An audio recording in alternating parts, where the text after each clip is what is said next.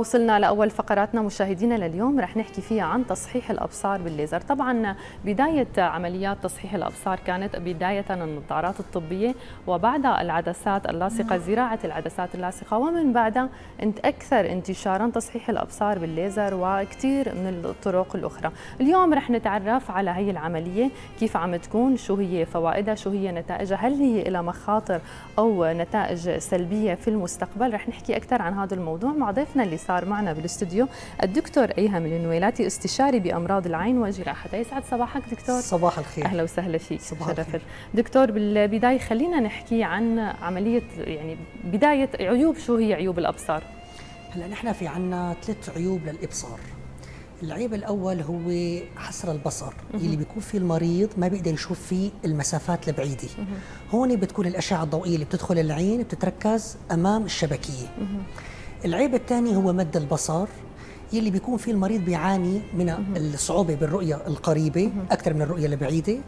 وهون بتكون الأشعة الضوئية اللي بتدخل العين بتتركز خلف الشبكية. العيب الثالث هو الاستجماتيزم أو الانحراف. بهال بهالعيب هذا بتكون سطح القرنية بياخذ في بيكون مشكلة بالشكل الكروي المنتظم للقرنية. فبدل ما تفوت الأشعة الضوئية وتتركز بنقطة واحدة بتتركز بأكثر من نقطة. فهدول أهم ثلاث عيوب للنظر. الحسر المد والاستجماتيزم تمام. طيب دكتور مثل ما بنعرف الناس بتروح أول شيء للنظارات الطبية في أشخاص بالطرق المتطورة راحوا للعدسات اللاصقة زراعة العدسات اللاصقة من ما بعد الليزر والليزك.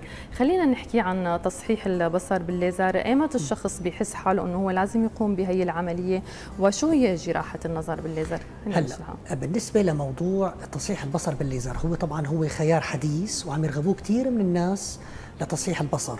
بيعتمد بالدرجة الأولى على رغبة المريض بالتخلص من النظارات. في كثير من الناس بيجوا لعنا على العيادة العينية وبيطلبوا التخلص من النظارات نتيجة رياضات معينة مثلا عم يمارسوها أو طبيعة عملهم بيكون لهم النظارات مزعجة. في بعض الناس أيضا مثلا ما عندهم الرغبة بلبس العدسات اللاصقة مثل ما بنعرف العدسات اللاصقة أوقات لها بيكون كثير مشاكل بتعمل التهابات ملتحمة بتعمل احمرار بالعين دمع فكثير من المرضى بيحبوا التخلص من النظارات أو العدسات اللاصقه فهي الليزر هو الخيار الأفضل لهدول النوع من المرضى. طيب دكتور باعتبارك ذكرت إنه هي الخيار الأفضل. اليوم خلينا نحكي عن معايير إجراء هي العملية. اليوم المريض وقت اللي بده يجري هي عملية تصحيح الأبصار بالليزر في شروط معينة ممكن في أشخاص فينا نقول هدول ما بيقدروا يعملوا هي العملية؟ صحيح. الحقيقة نحن في معايير معينة لنقدر نرشح المريض لعملية الليزر. آه مثل العمر لازم يكون حد ادنى 18 سنة.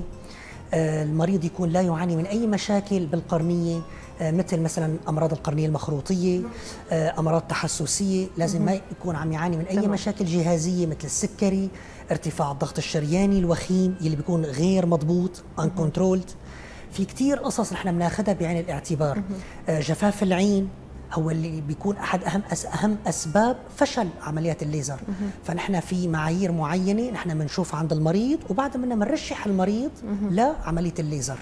طب دكتور أكيد في أنواع لعمليات صحيح. تصحيح البصر بالليزر. صحيح. خلينا نذكر شوية شو هي هي الأنواع. هلأ الأنواع الموجودة عندنا في عندنا نوع ال PRK أو الليزر السطحي هي طبعا هي طريقة قديمة ولكن ما زالت حتى الآن محافظة على صدارتها بين التقنيات.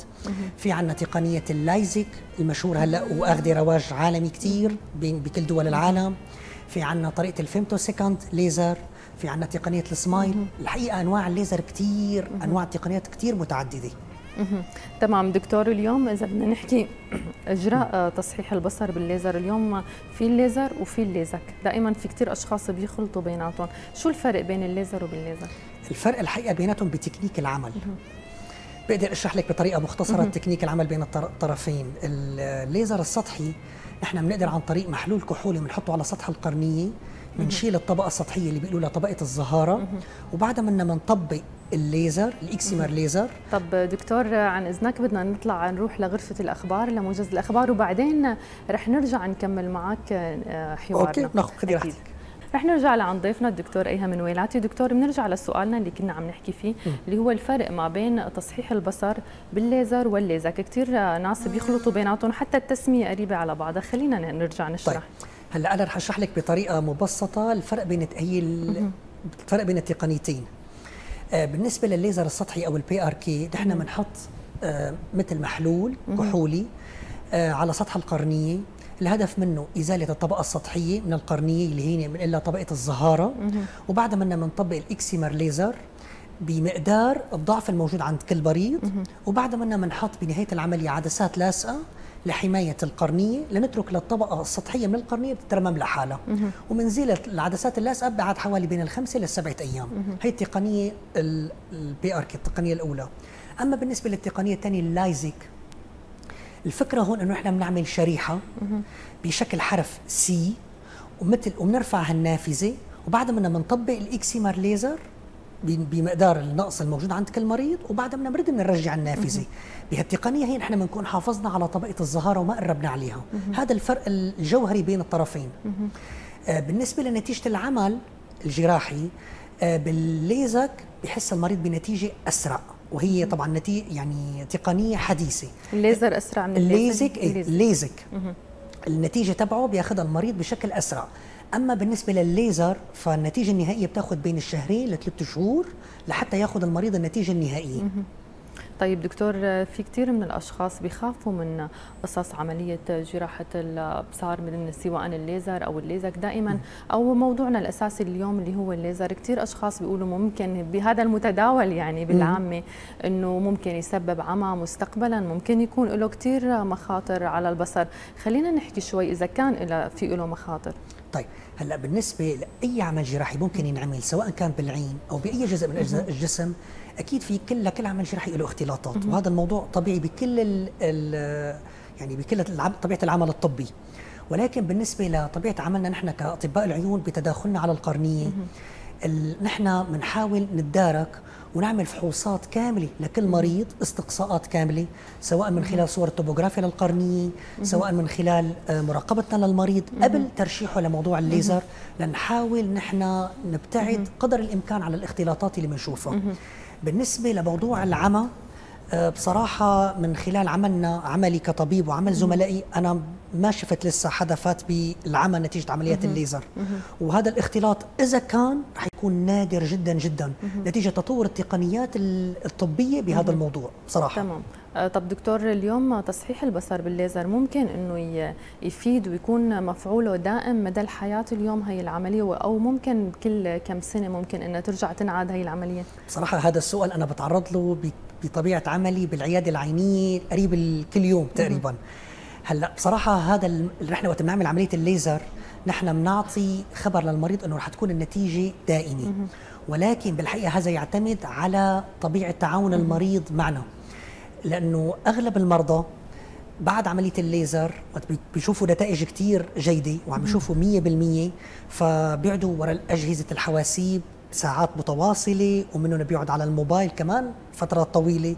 هذا الموضوع بيعتمد على المريض بالدرجة الأولى إنه هو يساعدنا لتاخذ نتيجة العمل الجراحي الفترة الأطول. فالقعدة وراء الحواسيب بتتعب العين وبتعمل اجهاد فممكن المريض يعاني من النكس بعد العملية. فنحن هذا الموضوع نحن بنحيط علم فيه للمريض قبل كل عملية. ايمت بيصير هذا النكس تقريبا؟ وقت بيكون في إجهاد للعين نتيجة الجلوس خلف الشاشات ساعات طويلة فممكن يصير في نكس. لدرجات معينة. نحن هذا الموضوع نحن بنخبر عليه المريض قبل العملية فبنعطيه خبر. وبنعطيه خبر عن ضرورة ترطيب العين بشكل دائم بعد عمليات الليزر. ترطيب العين جدا جدا هام بعد عمليات الليزر وبشكل دائم.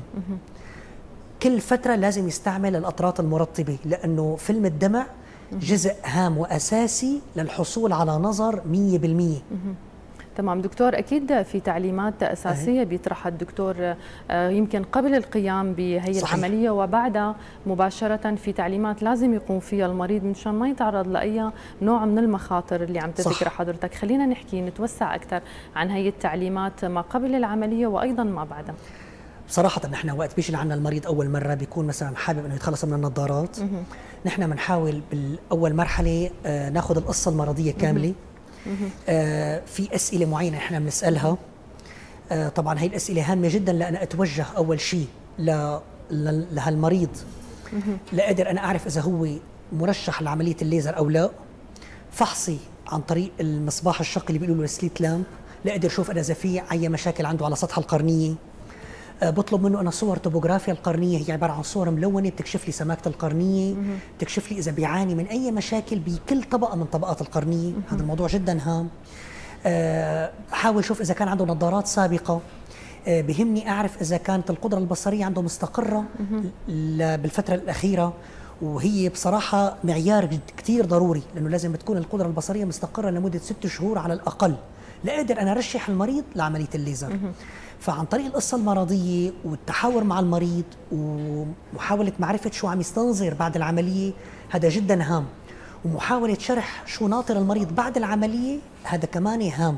هذا الموضوع كلته بنحكيه مع المريض بجلسة مفصلة ليكون المريض عارفان كل شيء ناطره. كل التفاصيل. طبعا. في حال ما بعد العملية دائما بيذكروا إنه يمكن في أشخاص لازم يرتدوا نظاره لازم ما يتعرضوا للضوء. هدول التعليمات اللي بتعطوها دكتور صحيح. في حال المريض اخترق أحد هي التعليمات أو ما أو ما تجاوب معه اليوم شو المخاطر اللي ممكن يتعرض لها هلأ وقت بيكون المريض بتبروا علينا كثير مرضى ما بيسمعوا التوصيات. وأنا شفتها كثير بحياتي بالعيادة العينية. طبعا هذا الموضوع بسبب لهم غباش بالرؤية لأنه بيصير في جفاف بالعين. مثلا عدم ارتداء نظارات شمسية بعد العملية بيزيد جفاف العين فبيزيد غباش الرؤية. فبيرجع المريض لعنا وعم يشتكي من عدم وضوح الرؤية بشكل كامل. فأنا بطلب منه ارتداء النظارة الشمسية برد بعيد التوصيات. من الأول. آه برجع بوصف له الأطراط المرطبة ليرد ترجع العين تسترجع نشاطها الكامل. وصارت معنا كثير والمريض برد بيرجع بيسترجع نظره الكامل. يعني هي المخاطر ممكن تكون مؤقتة في تمام. حال ما انتبه للتعليمات. طب دكتور إذا بدنا نحكي عن نسبة النجاح لهي العمليات. قديش تقريبا نسبة النجاح ولا حسب كل شخص؟ سدين هلا حسب كل شخص أكيد بيلعب دور هذا الموضوع بس بتطور التقنيات والأجهزة اللي عم تتعامل مع هالموضوع لأنه الأجهزة هي اللي عم تساعدنا نحن بقص الشرايح من سماكة القرنية. فنسبة النجاح عم تكون عالية للحقيقة. أنا ما عندي بصراحة حسب إحصائية أحكي رقم معين بس يعني أغلب المرضى عم يكونوا مبسوطين وحتى عم ينصحوا أقربائهم باللجوء لهالنوع من العمليات. هي العملية بسيطة كثير يعني مدتها دقيقة واحدة وبيكون المريض صاحي وواعي ونحن بنحاول نهديه ونعطيه يعني تخدير جرعة داعي بتكون لا تخدير موضعي. أكيد تخدير موضعي والمريض صحيان ودقيقة لكل عين ونحن بنحاكي للمريض طول فترة ال... نحن طول فترة العمل لنعطي للمريض الراحة النفسية. فبعد بنقول له الحمد لله على السلامة. والأمور فبنتابعه بقى متابعة دورية لمدة شهر أو شهرين بعد العملية نتاكد إنه المريض صار وضعه مستقر 100% طب دكتور بسؤال أخير المي البيضاء اللي بتنزل على العين في كثير أشخاص بيقولوا إنه هو الليزر بيعالج هي القصة هل هذا الموضوع صحيح؟ أه، بصراحة هاي تقنية حديثة جدا جدا موجودة بالاتحاد الأوروبي. والفكرة أه، منها غير أنه معالجة المي البيضاء معالجة آه، القدرة البصرية عند المرضى لأنه نحن عندنا بعد عمر الأربعين سنة عند كثير من المرضى بتصير بقى مشكلة النظر القريب. فنحن عن طريق جراحة الساد أو الماء البيضاء نحن ممكن نلعب بهالموضوع نقيم العدسة نقيم المي البيضاء الموجودة ونحط عدسة داخل العين بتصحح النظر للمريض للبعيد وللقريب. والحقيقة هي تقنية كثير حديثة وعم نمارسها هلأ صارت موجودة عندنا بسوريا. وعم تلاقي كثير رضا من الناس. بصراحه أنا شخصيا يعني عملتها لكثير ناس وكانوا الناس مبسوطين لأنه تخلصوا من النظارات للبعيد وللقريب. فأنا بنصح فيها يعني وهي تقنية كثير حديثة موجودة بالاتحاد الأوروبي هلأ. كثير حلو. أكيد دكتور بختام فقرتنا لليوم بدنا نتشكرك المعلومات اللي قدمتها. أكيد بدنا نتمنى السلامة للجميع. دائما دكتور ايهم الويلاتي استشاري بأمراض العين وجراحتها شكرا كثير لك. بقية نهار حلو لك.